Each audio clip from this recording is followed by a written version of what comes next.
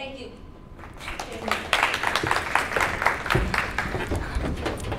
Okay, then, let's speak up more. Okay. Mm. Hello. Yeah. Okay, mic set up. Okay, yeah, hello. They say good morning. That's not loud enough. Maybe you need some coffee. yeah. Okay, once again. Morning. Morning. Yeah, so I yeah, thank you Woman Code for inviting me. Yeah. So anyway, if you're not on Twitter yet, or if you're not a Twitter yet, please set up a Twitter account. And this is my Twitter account. Okay. Got it? Yes. Okay. So, a little bit about me. I am currently working as a data engineer at uh, ST Engineering. So we have this center called the Data Analytics Strategic Technology Center, whereby we have a team of three data engineers and then quite a number of data scientists. So my background, I come from a background in aerospace engineering as well as computational modeling. And I have some experience working on aerospace related projects, uh, like for example, 3D printing in, in Rolls-Royce and NTU Corp Lab. I've also, done, I've also done like quite a number of computational fluid dynamic, dynamic stuff, which is where I'm ex exposed to parallel processing. And last but not least, if you're in Singapore in town, you could look for me for the best food recommendations. yeah, and if you are interested in Industry 4.0, we can have a chat. Now, today I will be talking about number one, what is parallel processing? And number two, like when should you go for parallelism? And last but not least, which is why you're here today, I will be talking about parallel processing and JIT in data science. But before that, I will delve a little bit about some bottlenecks in data science. So, a typical, okay, so a typical data science workflow look like this. First, we need to have the data, right? Because if we don't have data, you can't do much work. After we have the data, we will need to assess the quality, and then like assess the quality. So usually it will be pretty dirty. So that's where you have data parsing, pre-processing, as well as some exploratory data analysis to get some insights on the data.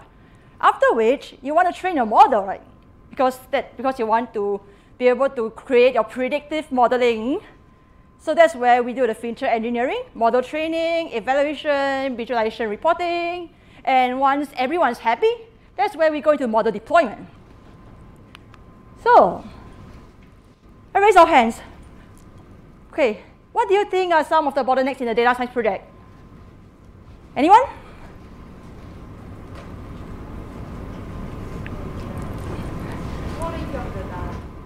Okay, so you said quality of the data.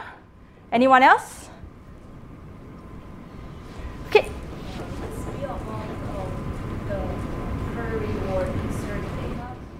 So you're talking about the speed of querying, uh, querying the data.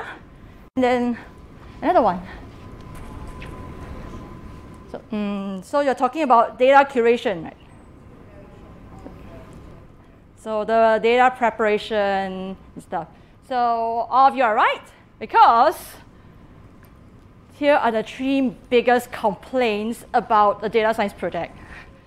Number one, it's about the poor quality of data.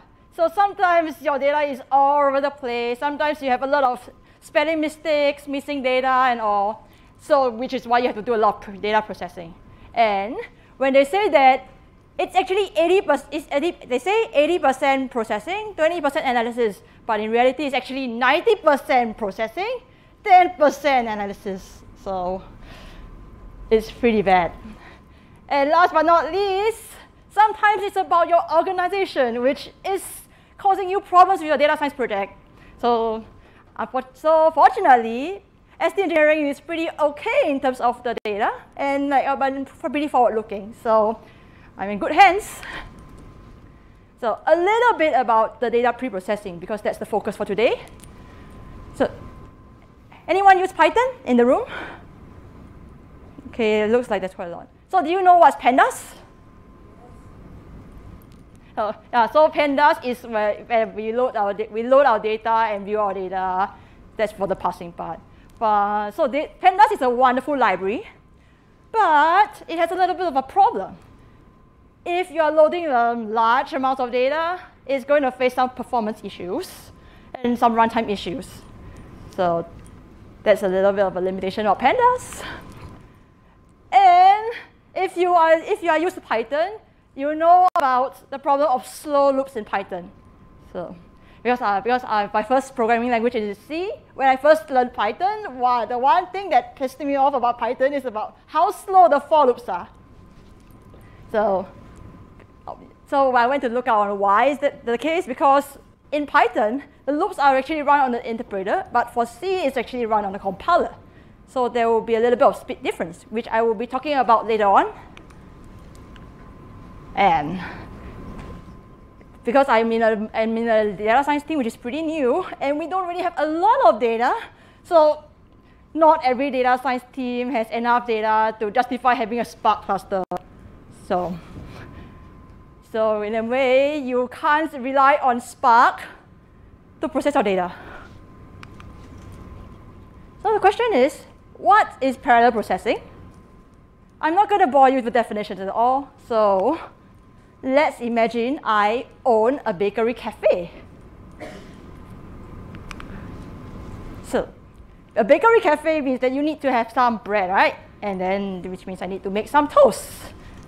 So today, I will need to toast 100 slices of bread. So I have to make some assumptions. Number one, I'm using single slice toasters. So yeah, I know a lot of people use like double slice toasters, but they actually exist. Number two, each slice of bread takes two minutes to toast. And last but not least, I'm going to assume no overhead time.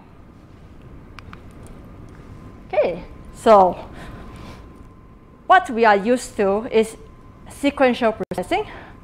We have 100 slices of bread. We feed them through the toaster. And then we get the toast. Easy enough, right? But if you look at the execution time, it's going to take 200 minutes for you to process 100 toasts. Now, what about parallel processing? So in parallel processing, same thing. We have 100 slices of bread. We split them into four batches. We feed them through four toasts. So in this case, four toasters. So in this case, the toaster is your processor. And then the, the task is executed using those processors individually. And, and well, if one toaster is damaged, it doesn't mean that you're not going to get the rest of the toasters running. So they are actually running parallel and independently from each other. And finally, you've got to consolidate all your toasts into a pool.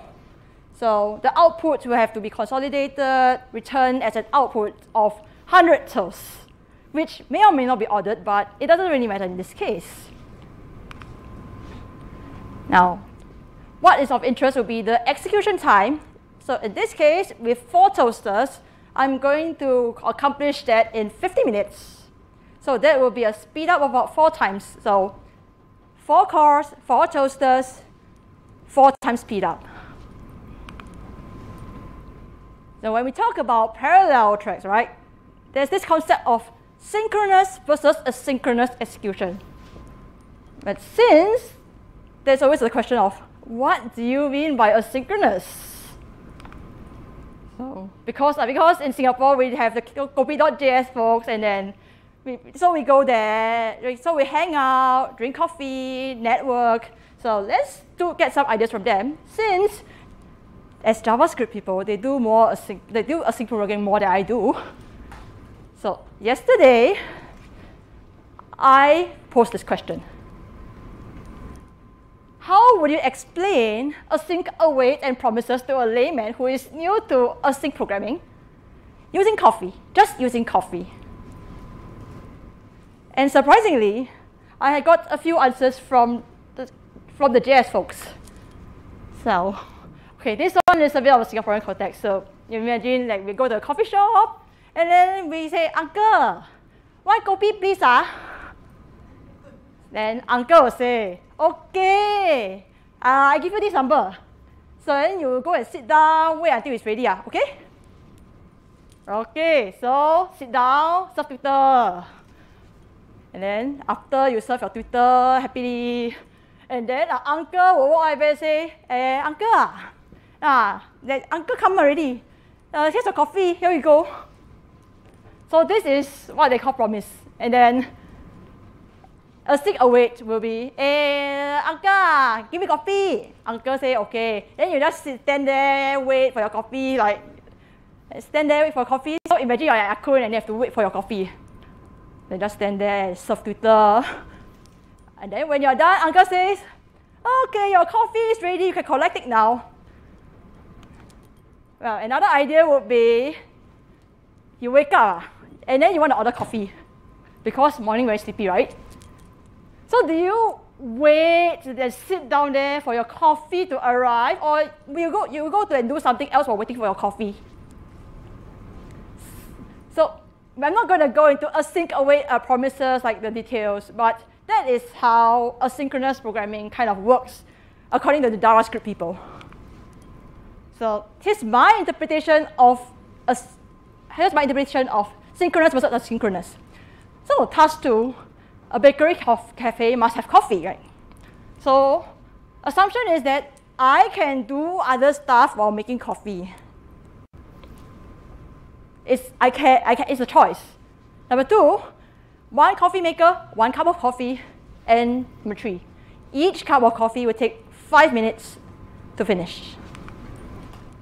So if we're talking about synchronous execution, means I will brew a cup of coffee and then I wait for the coffee to be ready before I make the toast.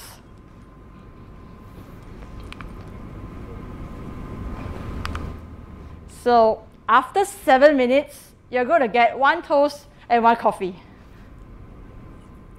Do you think it's efficient? No, right? There's a better way to do it.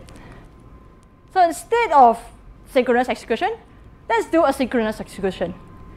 So while I'm brewing the coffee, I'm going to make some toast. So I'm not going to wait for the coffee to finish. So if we are going to do it this way, we are the workflow is going to look like this. So while I'm still waiting for the coffee to finish, I'm going to make one toast at a time. And then after five minutes, I'm going to get two toasts and a coffee. You think that's much, much better? yes. So parallelism is very good, right? Sounds really good. But when is it a good idea to go for parallelism? Or I should twist it another way. Is it a good idea to simply buy a 255, 256 core processor and parallelize all your codes? Because parallelism is so awesome. Turns out, not really, because there are some practical considerations to consider. Number one, is your code already optimized? Because sometimes all you need to do is to rethink your approach and you will ease the bottleneck. So for example, if I'm using Python, right? And then you say any, any user for loops and you complain that, oh, my for loops are really slow.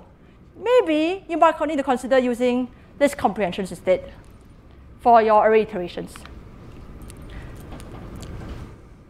Another consideration is about your problem architecture. How does your problem look like? Because the nature of the problem will limit how successful your parallelization can be.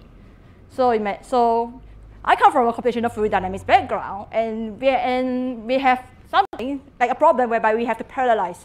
But you can't just anyhow parallelize because like each component will depend on the other in a way. So it will be a bit tricky if your problem will consist of processes which kind of depend on each other very closely. Then maybe, maybe you might not want to do parallel processing. And last but not least is, is the one problem that actually impedes parallelism, which is the overhead. Because there's this, there's this law called Amdahl's law, which says that there will always be code that you can never parallelize. I repeat, there will always be code that you can never parallelize. Which yes, so I will go into that later. But another thing to consider is that if I want to parallelize my code, I will also need to consider the extra time to refactor my code, restructure my code, rethink of how I'm going to approach the problem before I can parallelize my code. So this is Amdahl's law. You don't really need to know the details of the equation, but you need to know about this in terms of what's the implication. So Amdahl's law it states that the theoretical speed up, which is the best case scenario for speed up, is defined by a fraction of code that can be parallelized. So if you look at the equation, you have 1 minus p, and then you and then you have p over n. So you can see that not only does it depend on the number of cores you have, it also depends on how much can your code be parallelized. And unfortunately, there's no clear-cut way to determine that. And if we look at the plots, if there are no parallel parts at all, your speed up is going to be zero, absolute zero. If all parts are parallel, which usually doesn't happen, your speed up will go to infinity, which is not possible actually. So what we can see from the plot is that the speed up is limited by the fraction of the work that can be parallelized. And as much as you want 20, 256 core processor, it will not increase even with infinite number of processors. So you can drop your idea about buying a 256 core processor. Now, when we talk about parallel processing, we also need to talk about what's the difference between multiprocessing and multi-threading because those are two different things. So multiprocessing means that I will allow, that, that the system will allow multiple processes to run at the same time using multiple processors. So multiple processors to run multiple processors. For multi-threading, it's quite similar, but it's about executing multiple threads of sub-processors at the same time within a single processor. So single processor, two threads, you run those two threads. And because of the nature of the parallelism, multiprocessing will be more suited for large, large volumes of data, while multi-threading is best suited for I/O-intensive operations. I will talk about, I will delve a little bit into why you should use multiprocessing in this case later on. Now, so about parallel processing in data science, whereby we have a lot of data. So some context, Python is the most widely used programming language in data science. So, you, so if you want to be in data science, you got to learn Python. And in Python, we do have an option for distributed processing in the form of PySpark. So we have Spark, which is actually run in Java, but, but then somebody built, somebody managed to allow it to be run on Python.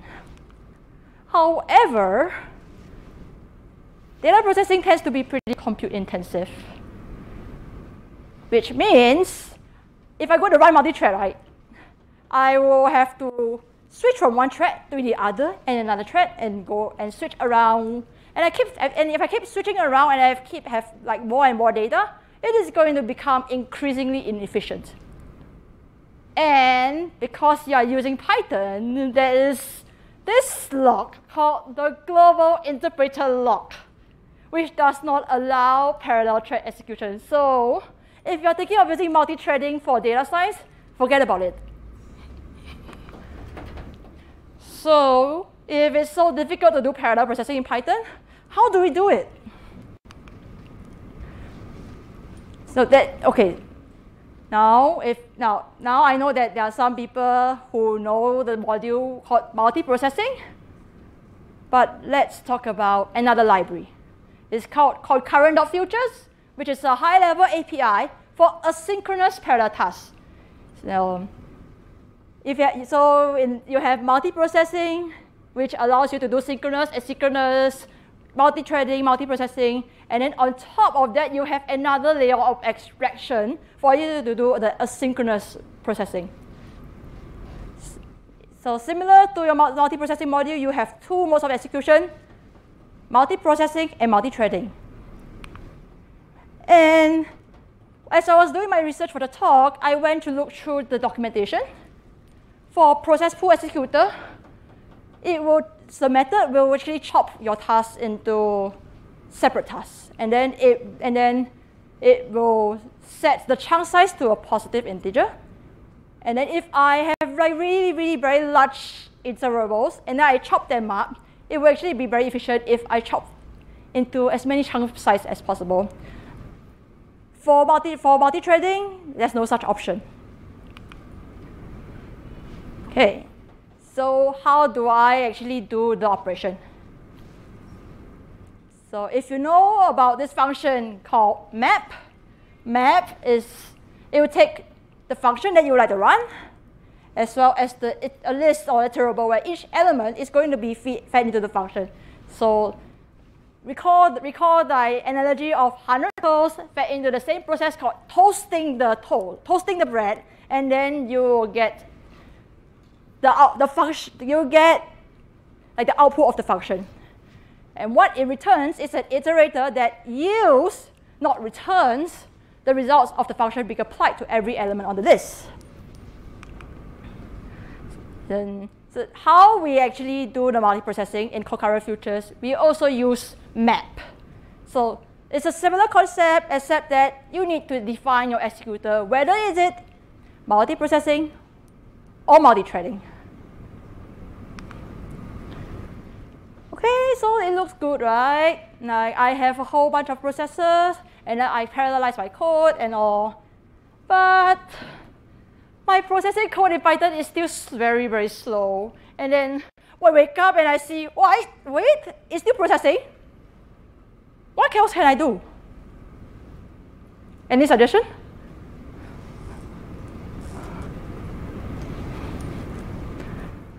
Okay, maybe, maybe not. I'll talk about it. So previously I mentioned that there's the problem of slow loops in Python with C. The C is a compiled language. So this is hard. So when I have a C code, I will run it through a compiler to compile the code into this target language. So it could be eh, like an output. And then I have to load that file into a loader, which will translate that target language into machine code, such that the machine can understand. And then finally, with that machine code, I load it to the loader, and then I it will run the code. As for interpreted languages like Ruby, Python, etc., we have the written code, which kind of goes through a compiler. And it translates to low, like bytecode, which is slightly lower level. And after which, that bytecode is dumped into the virtual machine, and then you run it. So the difference is that, so you can see that the difference is that you don't really convert into machine code, which is why you take a bit more time to try and interpret the code. And there's an intermediate solution to that, which is using JIT compilation.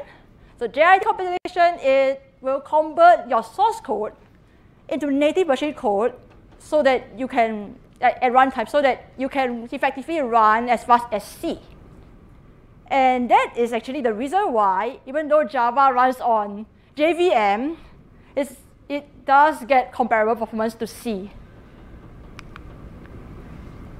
And in, so in data science, if we, we, we are not really trained in parallel processing, so we are not trained in all your uh, MPI and stuff. So we need a simpler way to do our, our JIT, which comes to the Numba module. So the Numba module is a just-in-time compiler for Python that converts Python functions into machine code, and then you run the code in an LLVM compiler. So it can be used very simply by adding a decorator around the function to instruct Numba to compile that function. So if you know about other, other JIT compiler like um, Cython, you need to de define your type, def you need your type definitions, you need to define all your types, you need to sort of twist, like go into your code and change it. But for Numba, you don't need to. And they have two modes of execution. One will be the NJIT for no Python. You go straight to the JIT compiler and you run the code. The second mode is the JIT, whereby you have some codes that you cannot run, you cannot compile into JIT, so you will run those parts into the into the interpreter. So now I shall go to the practical implementation. Uh, okay, case study. So wait, let's so my team decided that okay, let's go for a data science challenge. So the data science challenge consists of some some like text data and some image data, but the prob but but what we had run into problems in is the image data because you have 77.6 gigabytes of image files to process. And the data quality is kind of poor because you have some images in RGB, you have some images in RGBA, and then and then not and then not, not all your images are going to be very nice, like 64 times 64. You have like you have all sorts of sizes, all sorts of dimensions. So you have to standardize them before you feed them into your machine learning model. Okay, so this is the code that I wrote or originally without parallelism. So import sys, import time. I define, I do my definitions, and I try to time my process, and then I use a while loop. I use a while loop. I use list comprehension. So I did try to optimize my code. But unfortunately, the execution speed is slow like a snail. So imagine I, I, I run the script, and I sleep, and I wake up after seven hours. It only processed 3,300 images. How am I going to finish my challenge? But, so I went back, looked at my code again, and then I did a bit of research, like try to try to refactor my code and such that I can run in parallel, and I can run on JIT mode. So the difference is that I imported Numba. I use JIT, but I tried using NJIT. But unfortunately, because I'm using the PIL, and the PIL is not supported in Numba, so I will have to use the JIT. Then there is this function which does the array partition calculation because I need to split my, I need to sort of manually split my image files into batches. And you can see that I'm also using the JIT. And then we have all the definitions and stuff, and then mm, this is the partition part, and this is where I do the parallel processing. So how do you how do you use concurrent futures is that you use you define the executor, and then you apply a map function. So you map, so you have a function, you have whatever that you want to process, you, you, you, so you feed those, uh, feed whatever you want to process into the function through map, and then you get your output using the process pool executor. So after that, to my surprise, it managed to run, run three, like 35,000 images after 3.6 hours. Um, and some things of interest, I was running this code in Google Colab, GPU, two cores, and the speed up is 19.4 times. Yeah, and for some kind of comparison, for the code without parallelism, I was also running using the using the GPU in Colab. So it's a so you, so the comparison is quite fair. And last but not least, the difference is that because we are using a map function and your output is an iterator, you have to store the you have to store the results from the iterator into an array. Okay, so I've talked a lot, so let's make, so here are some key, key takeaways. Number one, not all processes should be parallelized. because of Amdahl's law. That's one. And sometimes it's also about the extra time and effort that you need to parallelize your code. So a little bit of a guideline is that if the cost of trying to rewrite your code such that you can parallelize it, it actually is not as much as the time savings that, okay, if it's not as much as the time savings, right, then go ahead. But if you have to spend like hours and hours trying to make your parallelism code work and the time saving you get is not that much, maybe you should consider other ways of optimizing your code instead. And another po and the second point is that for JIT, it converts source code from compiler into native machine code.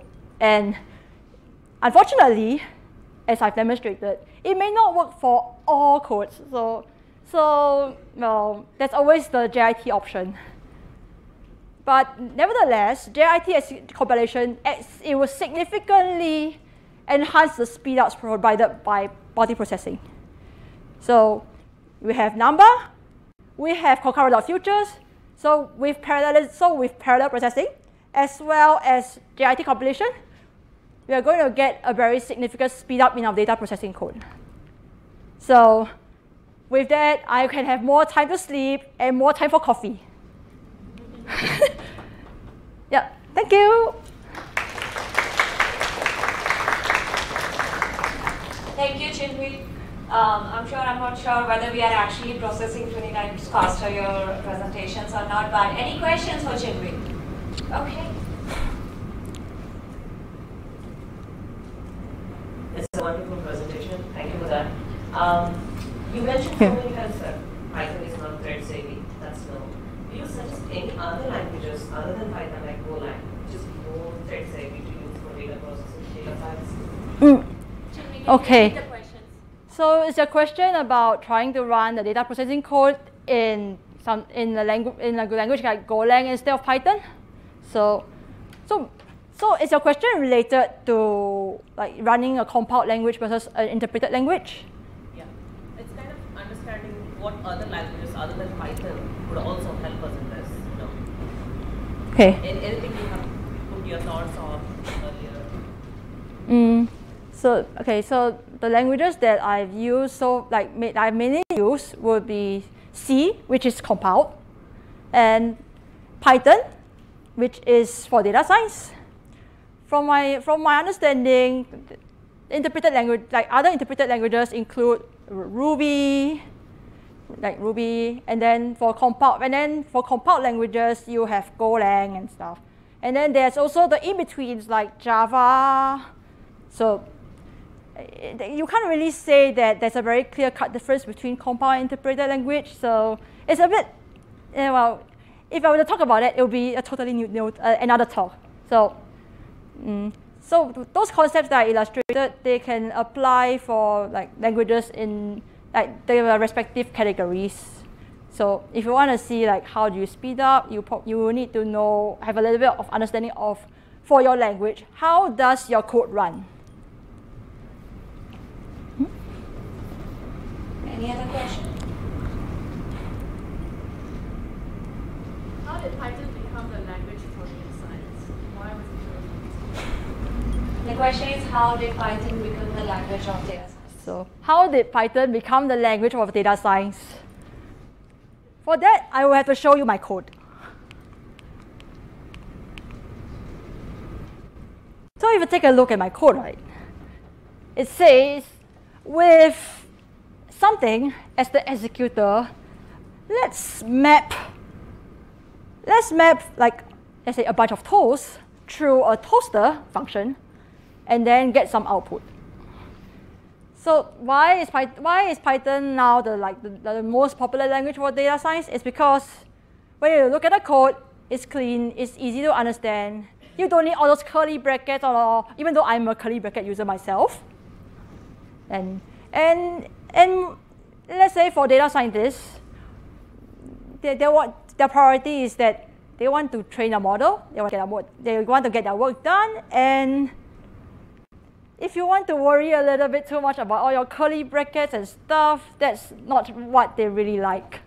So that is, so that's from my perspective. And in my my data in my team, uh, my data the data scientists they insist on using Python.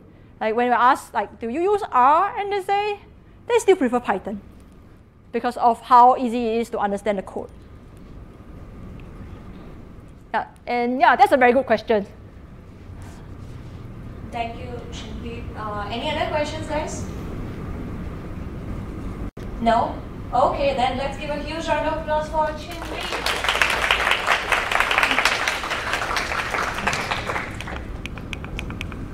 I'm trying to speed up my walking speed.